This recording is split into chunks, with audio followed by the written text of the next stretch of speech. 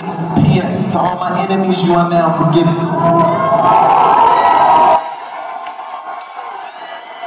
Except Kid Cudi, because that's not my motherfucking buddy. If I see him in the streets, it's getting motherfucking ugly.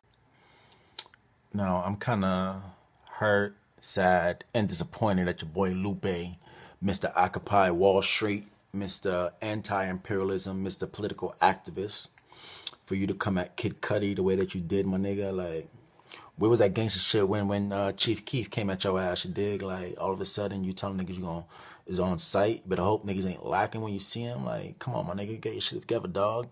Like, you supposed to be a conscious rapper talking all this gangster shit, my nigga. Like, like chill, my nigga. Like, I that Laser album was my shit.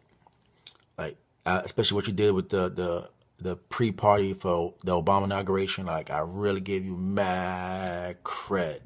Really never a fan of your work. That kick, kick push shit wasn't a fan of you back then until I found out you was a political activist and like you're real, you're real active with this political shit.